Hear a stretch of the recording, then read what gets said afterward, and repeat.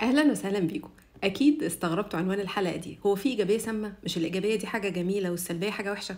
مش التفكير الإيجابي وعلم النفس الإيجابي والسلوك الإيجابي مهمين للتوازن النفسي والصحة النفسية؟ مش ده اللي إحنا اتعلمناه بقالنا سنين؟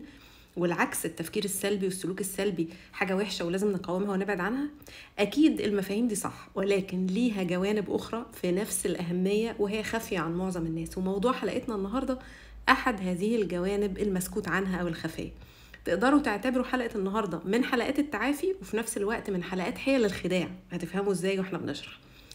الحلقة دي متقسمة كذا جزء. هنشرح الأول. تسلسل تاريخي مهم آه، عاصرناه كلنا وأثر فينا جدا جدا. وبعدين هنعرف المشكلة نعرفها ون- ونقول هي عبارة عن إيه ونشرحها ومظاهرها إيه في سلوكنا وإزاي هي خطر علينا. وبعدين نصحح المفاهيم دي في آخر الحلقة بعد ما تكون اتضحت الصورة بكامل جوانبها. واوعدكم لو سمعتوا الحلقة دي للآخر هتشعروا براحة نفسية كبيرة جدا بعد ما تتخلصوا من شعور كان مسبب لكم إحباط ويأس. وكان ثغرة كبيرة بيدخل لكم منها كل أنواع المتلاعبين سواء في العلاقات الشخصية أو في الشغل أو أونلاين فالحلقة دي مهمة للرجالة والستات ولينا كلنا. الأول خلونا نستفيد بأول نقطة مهمة من أول العنوان اللي فيه مفهومين شكلهم كأنه عكس بعض إيجابية وسامة. كل حاجة في الحياة لازم تكون أحد اختيارين فقط. يعني هل هل ده يعني ده الطبيعي ده العادي؟ ان يبقى الحاجة يا إما حلوة يا إما وحشة يا إما مفيدة يا إما مضرة. تعالوا ناخد مثال جميل من القرآن. ربنا سبحانه وتعالى لما حرم علينا القمار والخمرة علمنا إزاي نفكر بموضوعية وعقلانية في كل شيء. فقال لنا فيهما إثم كبير ومنافع للناس وإثمهما أكبر من نفعهما. الوصفة دي علاج للتفكير القطبي اللي هو من نقيض للنقيض اللي بيخليك تشوف الدنيا أبيض وأسود صح وغلط ينفع ما ينفعش. أحيانا في حاجة مفيدة ممكن يبقى فيها ضرر والعكس حاجة مضرة يكون فيها بعض النفع. وعليك إن أنت تفكر بموضوعية وبعقلانية تقيس نسبة النفع والضرر وتختار على هذا الأساس تمشي حياتك إزاي. إحنا شرحنا قبل كده إن من الآثار السيئة للحياة في بيئة نرجسية سواء أحد الأبوين أو الزوج أو الزوجة إن تفكيرك بيت- بيتحول لتفكير قطبي محصور في اختيارين فقط نقيضين خير وشر جيد وسيء صعب أو سهل. زي الأطفال اللي متخيلين إن الدنيا بسيطة وسهلة ومقسومة نصين الطيب لابس أبيض و- ولازم يكسب والشرير لابس أسود ولازم يتعاقب. حلقة السذاجة المفرطة فيها شرح القصة دي. شكل التفكير ده مفيد للاستغلاليين وللنرجسيين لأنه بيسهل عليهم التلاعب في اتجاه اختيار واحد فقط من اتنين مش من عدة اختيارات. فهم من مصلحتهم يحصروك في إنك تشوف الحياة نصين كده متناقضين أبيض وأسود. ولكن حقيقة الحياة الواقعية اللي إحنا عايشينها كناس كبار أصعب بكتير من كده ومحتاجة تفكير أعمق وأنضج من كده. لأن التفكير القطبي بيخليك غير قادر على رؤية احتمالات أخرى غير الاحتمالين دول فقط. وحلول المشاكل الحلول الابتكارية ال- الشخص اللي بيعرف يحل مشاكل لازم يعرف يشوف المشكلة من جوانب عديدة جدا وبالتالي يشوف لها آه، احتمالات للحل كتيرة جدا. فاللي اللي شايف الحياة يا ابيض يا اسود نظرته للحياة والناس وحل المشاكل محدودة جدا لأنه مش شايف كل الأطياف اللي في المنتصف.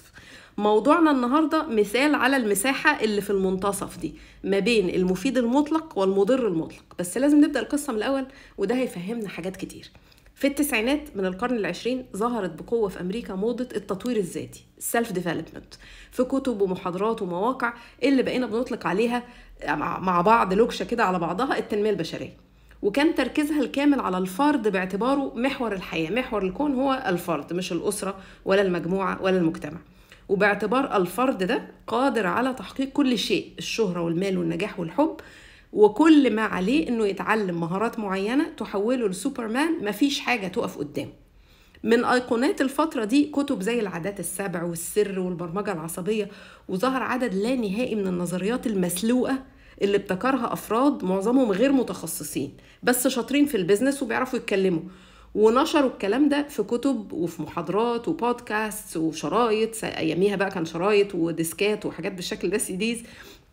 واكتسبت مصداقية فقط من الانتشار عبر التسويق الاحترافي اللي كان متاح وقتها. رغم إن كتير منها طلع إنه مش صحيح وإنه لم يخضع لأي معايير علمية وإنه كان بشكل كبير جدا مضلل للناس. وكان مضمون هذه الموجة الفكرية والنفسية باختصار إن أنت لو غيرت طريقة تفكيرك هتتحول لكائن أسطوري خرافي خارق يستطيع تحقيق أي شيء يريده أي شيء حرفيا. وده كان وعد مثير جدا طبعا لعالم على أعتاب ثورة المعلومات كانت لسه الإنترنت بتبتدي في الوقت ده. وبقوا الناس فعلا حاسين ان هم ملكوا الكون ويقدروا يعملوا أي حاجة بضغطه زر بالتكنولوجيا المهولة الرهيبة اللي هم قاعدين قدامها دي زي ما إحنا دلوقتي حاسين بالنسبة للاي اي كده للذكاء الاصطناعي.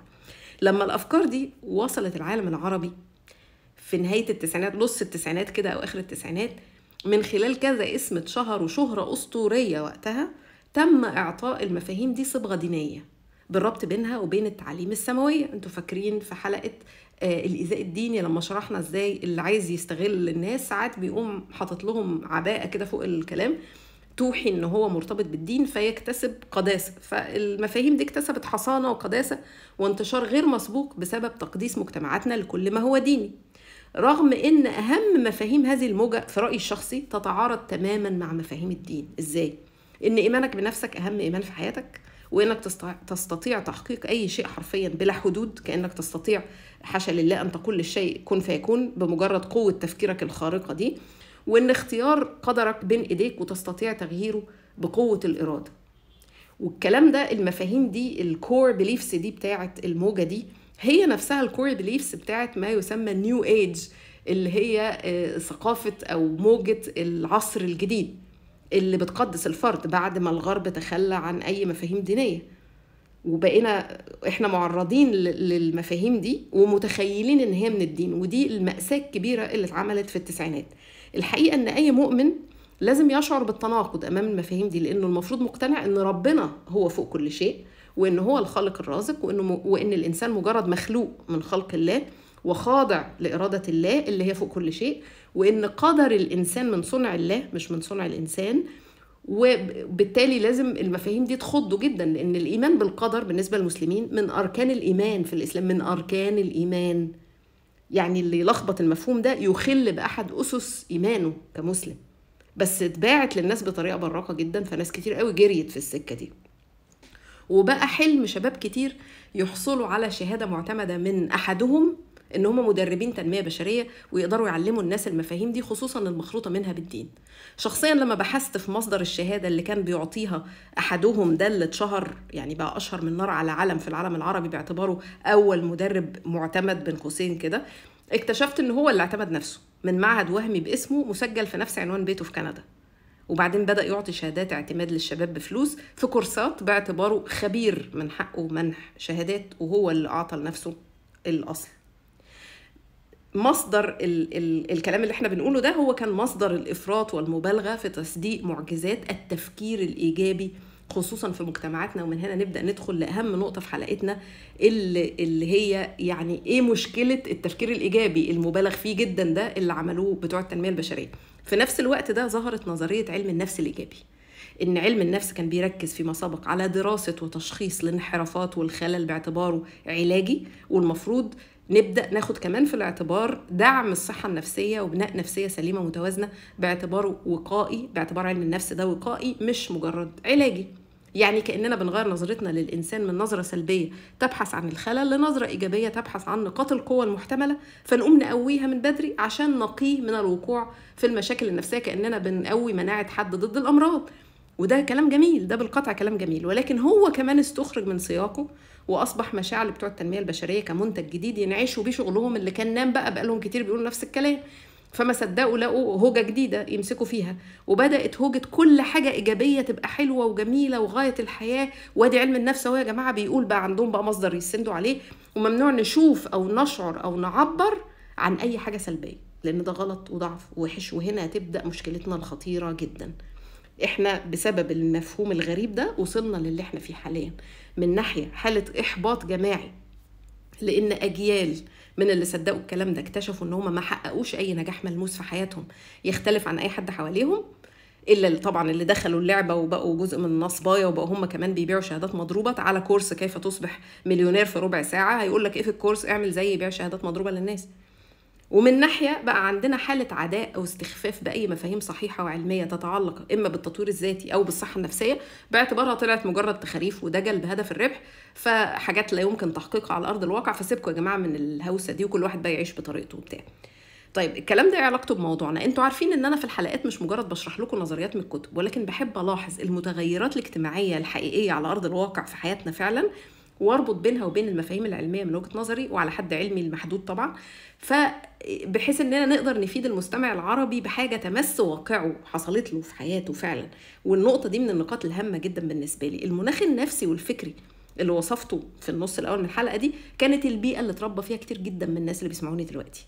وبالتالي كتير جدا مننا مش منتبهين إنهم فريسة لما يسمى حاليا في الأوساط النفسية الإيجابية السامة toxic positivity اللي المتخصصين في الصحة النفسية بيقولوا إنها ظاهرة بدأت في الازدياد بشكل ملحوظ مؤخرا وده سبب الحلقة دي. ليه لازم نبص في الموضوع ده؟ هي إيه أصلا الإيجابية السامة دي؟ بصوا لصورة الحلقة باختصار. إنك تتخيل إن عندك القدرة السحرية تحول الضفدع لأمير وسيم على حصان أبيض لأنك تستحق أمير مش ضفدع ولأنك تقدر تجتذب لنفسك الأمير حتى لو مفيش حواليك إلا ضفادع لأن الحياة بامبي ومليانة ورد وفراشات ولما تركز في حاجة قوي قوي وتعوزها قوي قوي قوي وتطلبها قوي قوي هتتحقق. وطبعا لازم تشارك العالم كله قدراتك السحرية دي في حياة براقة مثالية تليق بإنستجرام في السيلفيز وحاجات كده. ما تخافوش أشرح إزاي أنا الكلام الغريب اللي قلته ده. الإيجابية السامة إن أنت تعيش حياتك مش شايف إلا الجوانب الإيجابية فقط في كل شيء حولك وتتفادى تشوف أي حاجة سلبية في أي شيء حولك. فتشوف الإيجابي حتى في المجرمين والمؤذيين اللي بيعرضوك للخطر. شرحنا في الحلقتين السابقتين مشكلة التعاطف المفرط والارتباط المرضي اللي مصدرهم الفكرة دي. الإيجابية السامة دي كمان بتخليك تمثل إن أنت زي الفل مهما حصل لك وتخجل من أي ضعف أو مشاعر سلبية طبيعية وتقاوم الشعور بمشاعرك الطبيعية بكل أطيافها زي الحزن والغضب والحداد والخوف لأنك مقتنع إن المشاعر دي مشاعر سامة هتموتك لو شعرت بيها. بينما الإنسان الطبيعي لازم يسمح لنفسه بكل أنواع المشاعر ولازم يتعامل معها يخرجها خارجه ويتعامل معها عشان تتعالج. بدل ما يتجاهلها فتتزايد وتتحول لمرض نفسي مزمن. يعني العلاج النفسي والسلامة النفسية ضد فكرة إنك لازم تفضل سعيد ومتوازن وفرحان وعندك طاقة إيجابية طول الوقت. بالعكس لازم تعترف بضعفك الإنساني. وتقع وتضعف وتعيط وتخاف وتألم وتقلق وتسمح لنفسك بكل المشاعر الطبيعية المتعلقة بمواقف حياتك المختلفة تبع حياتك وظروفها وسنك. وفي نفس الوقت ما تغرقش تماما في هذه المشاعر ولكن تتعلم تعيشها لغاية ما تخرج خارجك وبعدين تتعامل معاها وتصفيها وتتغلب على أسبابها وتتعلم من التجربة وتتحرك للأمام. وده بالظبط اللي أنا بحاول أعمله في كل الحلقات هنا. فأنت عشان تتخلص من الصدمة والألم لازم تواجه الصدمة والألم وتتعامل معاهم وإلا هيتكوموا داخلك ويفضلوا يكبروا في الظلام لغاية ما ينفجروا في شكل مرض نفسي أو عضوي بعدين. ويفضلوا مأثرين على نظرتك لنفسك. وعلى تعاملاتك طول عمرك. زي إيه؟ شرحنا في حلقة سابقة حلقة استجابة الصدمة ظاهرة strong independent اللي غالبا كان مصدرها خبرة مؤلمة في الحياة حد خان ثقتك حد أذاكي آلامك جدا. كان قريب منك وثقت فيه فأذاكي. وضغط مستمر إن انت لازم تبقي قوية وسعيدة وتقومي من الصدمة فورا وانت مبتسمة وتكملي الكفاح في حياتك وتحققي إنجازات خارقة عشان تثبتي للكون إن التجربة دي ما أثرتش فيكي. الحقيقة إنك متألمة ومدارية ألمك وبتمثلي القوة والسعادة كنوع من رد الفعل العاطفي كنوع من الحماية النفسية حيلة تلاعب نفسي بتعمليها على نفسك عشان تحمي نفسك من الألم. بينما مصدر الألم داخلك زي ما هو ما تعالجش. وهيأثر على تعاملاتك وعلى اختياراتك طالما متجاهلاه وتفضلي تقعي في نفس الفخ كل مرة. يا إما هتنعزلي عن العالم تماما وتعاقبي نفسك. حلقة استجابة الصدمة ضروري جدا تسمعوها مع النقطة دي. ال social media ساهمت بشدة في نشر المفهوم ده لأن بوستات ال social media خصوصا حاجة زي إنستجرام مثلا اللي فيها صور لازم تبقى perfect ملونة وسعيدة وال influencers بيعرضوا جانب براق من الحياة مش موجود في الواقع حتى في حياتهم شخصيا بدليل القصص الصادمة اللي بنشوفها في العالم كله مش ال influencers بتوعنا بس all over يعني جوجل كام من ال influencers مثلا أدمنوا أو أنهوا حياتهم.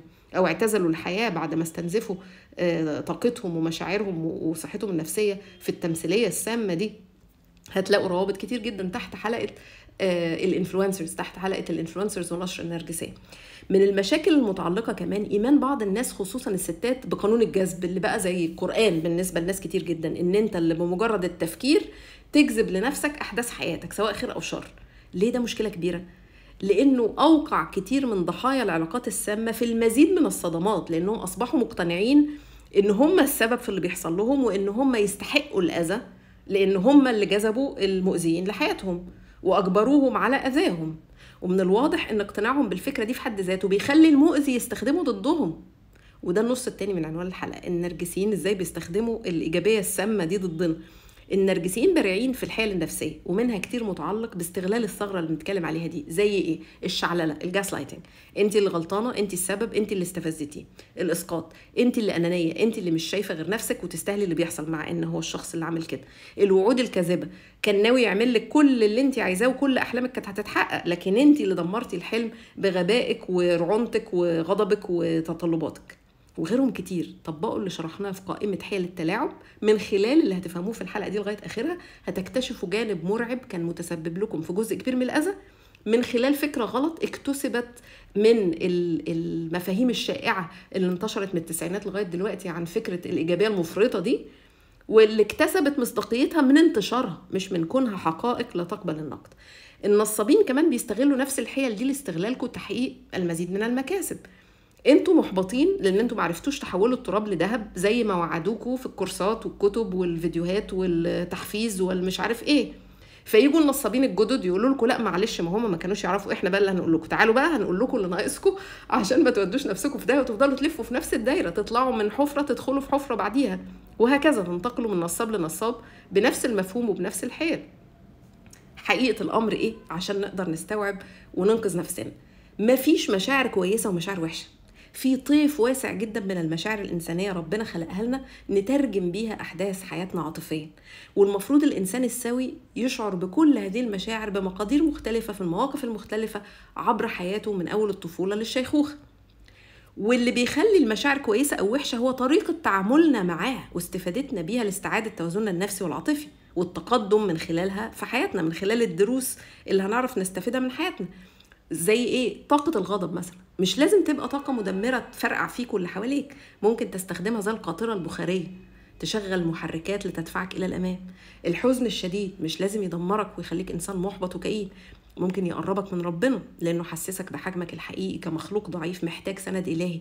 فمن خلال في عز الحزن والأسى اللي أنت فيه ترفع إيديك للسماء وتقول يا رب. وهكذا. فالحقيقة إن الألم سواء عضوي أو نفسي ربنا خلقه لنا ليه؟ عشان يبقى جرس إنذار نقوم نطلب العلاج. لكن الإيجابية السامة بتقول لك اطفي جرس الإنذار المزعج ده وادخل نام. هتصحى زي الفل بمجرد إن أنت تقول لنفسك أنا مش قصير أوزعة أنا طويل وهم أنا زي الفل فتبقى زي الفل. لا it doesn't work that way. هتفضل عايش في إنكار وبتمثل إن أنت زي الفل لغاية ما تصحى في يوم تكتشف إن أنت محتاج تروح الطوارئ. زي المفهوم اللي برضه انتشر جدا في ال business fake it till you make it اكذب وادعي إن أنت خبير في الشغلانة لغاية ما تبقى خبير بس في الأول هتهبل لأن أنت لا خبير ولا حاجة أنت كنت بتكذب. واتضح طبعا بالدليل القاطع إن ده تخريف وإنه في ناس كتير جدا اتحطت في مواقف في منتهى السوء لأنهم كانوا بيدعوا حاجة لم يكونوها. يعني في ناس في حاليا في الغرب بت في في في يعني في, في قضايا كبيرة جدا. لأن هم دخلوا بدماغهم كده وعملوا حاجات وهم مش خبرة فيها وضربت في وشهم يعني. خطورة تجاهل جرس الإنذار ده وانت بتتعامل مع شخص سام إنك بتلاقي طريقة تعذره وتلوم نفسك. وأدي الحتة الخطيرة جدا جدا الغضب اللي بيحصل من تخطي حدودك الشخصية أو الإساءة إليك المفروض يكون حافز ليك للتحرك بعيدا عن مصدر الألم ولكن تعودك على فكرة إن الغضب وحش والاستنكار وحش ودي مشاعر سلبية وبالتالي التفكير في قطع العلاقة أو حماية نفسك يعتبر سلوك سلبي لأن أنت كده بتظن سوء في الشخص الآخر. شوفوا لما لبست توب الدين بقت عاملة إزاي. ده بيخليك تساهم في خداع نفسك بابتكار حجج تبرأ بيها المؤذي وتعذره. معلش أصل عنده حق وأنا أستاهل. مع ابتكار بقى أي قدر من الأسباب يدخل في الحيلة دي وما يكونش لها أي أساس من الواقع غير في خيالك. الشعور بالخوف والألم والغضب بتفيدك في شكر نعمة الأوقات اللي كنت فيها سليم معافى لا تعاني من هذه المنغصات ودي فايدة كبيرة للاختبارات دي. لو الحياة حلوة وجميلة وسعيدة باستمرار هتنسى تشعر بالامتنان وتقول الحمد لله وتساعد المحتاجين لمساندة بعد ما عديت في اللي هم عدوا فيه. حاجة كمان مهمة إن شخصياتنا مختلفة وده شيء طبيعي ومش مطلوب كلنا نبقى نسخة من بعض. في ناس رد فعلها عموما متفائل. وناس رد فعلها الأول دايما متشائم. لا دول غلط ولا دول غلط. الحياة المتوازنة محتاجة الاثنين المتفائل يغامر ويقتحم ويخوض الصعاب والمتشائم يحذر ويتأنى ويقول بالراحة عشان ما تروحش في ده ما داموا الاتنين بقدر صحي مش مرضي يعوق الحياة السليمة الحياة محتاجاهم الاتنين. اللي أنا شرحته ده مهم جدا في مساندتنا لبعض كمان وقت الشدة. ليه؟ اللي مصدقين في. في الإيجابية المفرطة دي أو الإيجابية السامة بي... مش معترفين إن الناس من حقها تزعل أو تغضب فنبدأ نوبخ الناس اللي شعرة بالحزن أو الغضب أو الخوف ونضغط عليهم بشدة يشعروا بالسعادة بالعافية فجأة دلوقتي حالا بدون وقت كافي للتعافي للتعامل مع مشاعرهم وفهم مسبباتها والتعلم منها وتجاوزها. فأرجوكوا بلاش متلازمة بطلي دلع وبطلي عياط وقومي اشطفي وشك. دي ما يعني سيبوا الناس تعبر عن عن حزنها وألمها. التعبير عن الألم والحزن مهم جدا لتجاوزهم. ولما بتكبتوا المشاعر دي بتسبب في مشاكل كبيرة. أنا شرحت النقطة دي بالذات في حلقة للرجال فقط عشان هما بالذات مش مسموح لهم يتكلموا عن مشاعرهم في مجتمعاتنا وبالتالي يصبحوا أكثر عرضة للمرض النفسي بسبب كبت المشاعر وانكارها طبعا ده لا ينفي إن الغرق في المشاعر القوية ايا كانت لمدة مطولة بدون مقاومة وبدون علاج مش صح. وبيأثر عليك سلبيا. فاللي يلاقي نفسه مش عارف يتحكم في مشاعره يروح لمتخصص نفسي يساعده وده مش عيب. القدرة على إدارة المشاعر الإيجابية منها والسلبية مهارة يمكن تعلمها وضروري كلنا نبدأ نتعلمها. ودي إحدى المهارات المفقودة عند النرجسيين ما بيعرفوش يديروا أو يتحكموا في مشاعرهم وده السبب إن عندهم الغضب متفجر مثلا وده بيساهم في إننا لما نشوف ده قدامنا فنقتنع إن التعبير عن الغضب غلط لأنه إحنا لما تعرضنا له ضرب في وشنا عورنا. ولكن حقيقة الأمر في تعبير عن الغضب متحضر من غير ما يؤذي حد ولا يؤذيك. ويفيدك في النهاية إن أنت تتخلص من مصدر الغضب. والكلام ده كلام مهم وبنقدر نتعلمه من خلال التعامل مع متخصص نفسي زي مثلا clinical psychologist الناس اللي عندها anger management problems يقدروا يروحوا يتعالجوا في حاجة بسيطة جدا يقدروا يعني في وقت بسيط يقدروا إن هم يتجاوزوا المشكلة دي وبالتالي يربوا ولادهم صح وبالتالي يتعاملوا مع أزواجهم وزوجاتهم بشكل أحسن.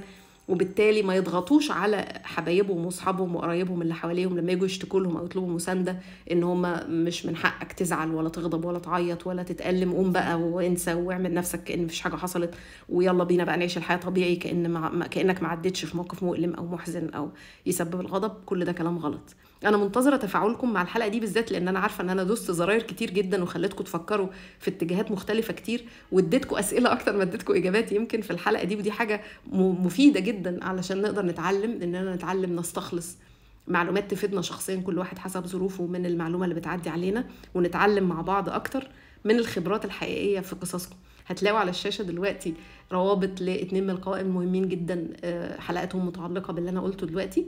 وإحنا بنرد على التفاعل على على القناة في ال comments وفي الشات أثناء ما بنعرض الحلقة دي live لأول مرة. وبفكركم إن أنا مش دكتورة نفسية وما بعالجش حد ومش بعمل ده إلا بغرض التوعية أنا مش بعمل ده للتسويق لنفسي يعني. شكرا جزيلا لحسن استماعكم ودمتم بخير وأشوفكم الحلقة الجاية إن شاء الله.